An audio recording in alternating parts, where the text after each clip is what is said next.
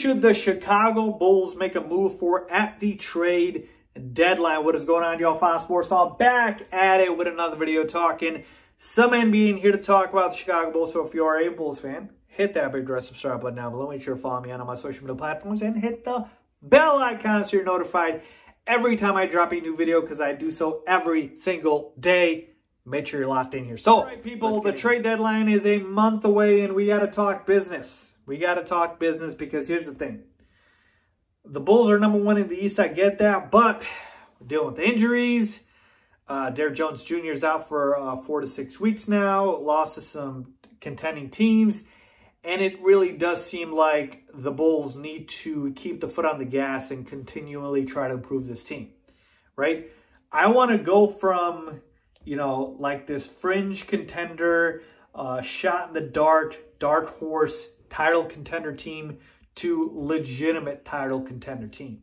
And we only do that if we make a move at the deadline. Now, there are a couple of players that a lot of you guys, a lot of people on Twitter, a lot of people on social media, by the way, follow me on there, have mentioned as prime trade candidates for the Bulls. So let's break down who those people are. But before we even do that, we got to talk about this roster construction itself, all right? So I'm going to break down the roster for you right here, and then we're going to get into these trades. All right, folks, here we go. Taking a look at the Bulls roster. As you can tell, I've highlighted one position group, all right? And by the way, this isn't the full roster because I'm only talking about guys that are in the rotation because when you get to the playoffs, all that matters – is the top seven, eight guys because those are the guys that are going to get playing time. You don't really care about the 11th or 12th man on, on the roster because they're just not going to play when it matters. So these are the guys that are in the rotation.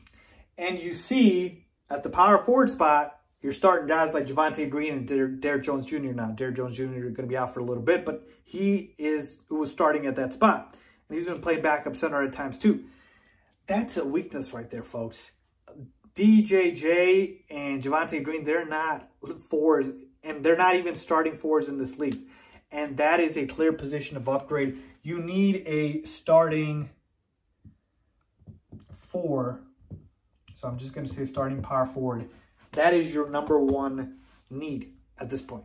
You're good at the other positions. You've got guard depth. You've got DeRozan. Ayo's been coming on, and Vooch is there. So your center spot is set. I know Tony Bradley, again, he's been in and out. You could use a backup center, maybe another wing, you know, for some more depth. But for the most part, for the most part, starting power forward is the biggest need. So let's take a look at who can fill that role here with, you know, who the Bulls can trade for. Right? And there's a bunch of guys that have come across on social media that I've seen that you guys have mentioned as well. One of the guys that are the most popular that Bulls fans mentioned is Christian Wood. Christian Wood plays on the Houston Rockets. He plays both the four and the five spot. Uh, he's a good player. Uh, almost a double-double machine pretty much. He, he's had a very solid year this year. He he was uh, on the Pistons and then he had a breakout year and then he signed with the uh, Houston Rockets.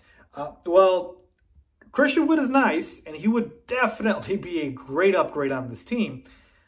Absolutely would start at four, or, or, or, absolutely would be a starter on the team. But I have two problems with Christian Wood. Number one, Christian Wood has one year left on his deal, and after that, he's going to want money. And not just decent money, he's going to want big money. So Christian Wood is going to be looking to get paid. Well, we've already got three guys and four guys here that take up a lot of our, our money. So are you willing to to dole out this much money to your fourth best, potentially fifth best, if you consider Lonzo better than him, player, right? So that's the question that you ask. And then the second thing is, again, this might not seem like a big deal to you guys, but you know, I, I look at everything. Christian Wood had a little bit of a um, dispute with his with his head coach, and he got suspended. So did Kevin Porter Jr. And again, I know that might not seem like much, but I'm looking to bring in good locker room guys, good chemistry guys. And I'm not saying that one incident makes him a bad guy, but what I am saying is, you know, if he's got issues and he's on a losing team, how how is he going to be when he comes to Chicago? That's why I didn't want Boogie Cousins when he was available when the Bucks cut him because I just don't want any guys that aren't good locker room guys. Chemistry is huge when you're on a championship contending team, folks. Uh, so to me, that's another thing. Uh, but more importantly, he's going to cost you a pretty penny. Christian Wood is going to cost you a lot, and the Rockets aren't just going to trade him for nothing. So that's another thing you have to uh, keep into account. But for the most part, I'm going to say the two most important things he's going to look to get paid, and then capital to get him is going to be a lot. Okay? Another guy that you guys always mention that I see everywhere is Jerami Grant. I love Jerami Grant. Jerami Grant, again, plays on the Pistons. He can play that four. He can't really play five. Well, it would be a small ball center. But at that four spot, he'd be perfect. And he's a guy who's improved a lot from the Nuggets days. He used to be a bench player for the Nuggets, and he's a damn near 20-point scorer. Jerami Grant, as far as his deal, he's got one more year left on his deal at 21 million. Um, so to me, again, he's also going to want to get money, and also he is going to cost you a lot as well. The Pistons are going to just trade him for nothing. All right. So what are you willing to give up for Jerami Grant? Keep that in mind. So let me just go through the guys, and I'll give you guys my favorite players. Okay. So uh, another guy that I've been looking at. Maybe you guys haven't thought about him. Robert Covington, Portland Trailblazers. Um, he can play the four. He can play, again, small ball five. He can play the three. Very, very versatile. He's a 3 and D guy. That means he's a good three-point shooter, and he can defend multiple positions. You love that. And with him, he's actually on an expiring deal.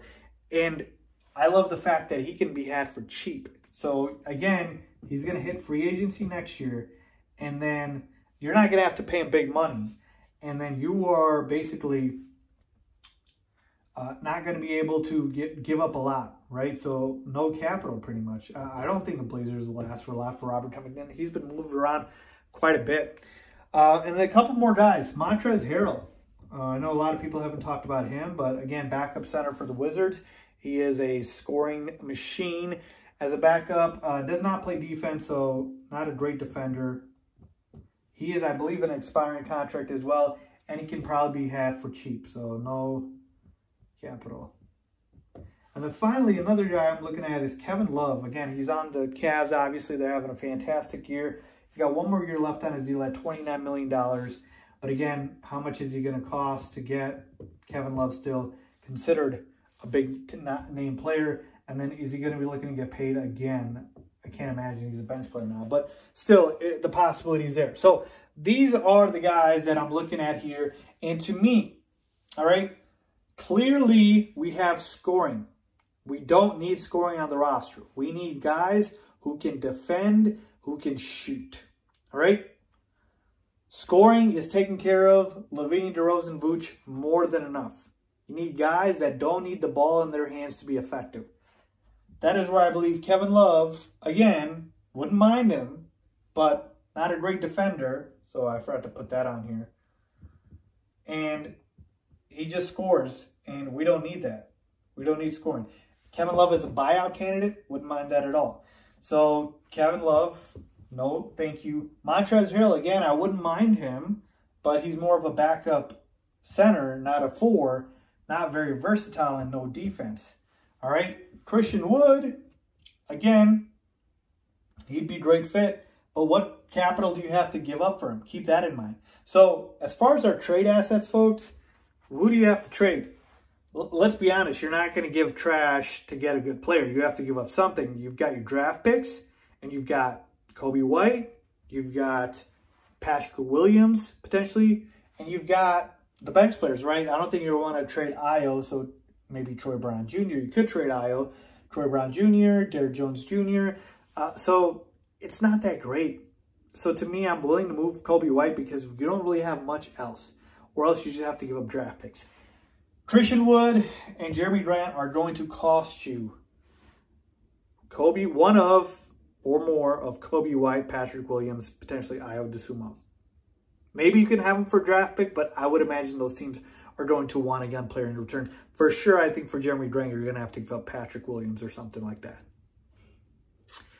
Are you willing to give that up? Patrick, Patrick Williams is still only 20 years old on a, on a rookie deal. And he would have been our starting four if he didn't get hurt. So, for those reasons, I'm saying Christian Wood and Jerami Grant are going to cost you a lot. I don't want to give that up. Only one player left. This is my target. Robert Covington. All right? He's on an expiring deal. So you can let him go after this year or you can sign him to a new deal. He can play the exact position you need and more. Okay? You're not going to have to give up a lot for him. I don't think you have to give up Patrick Williams. Ayo, you can literally give up draft picks for him.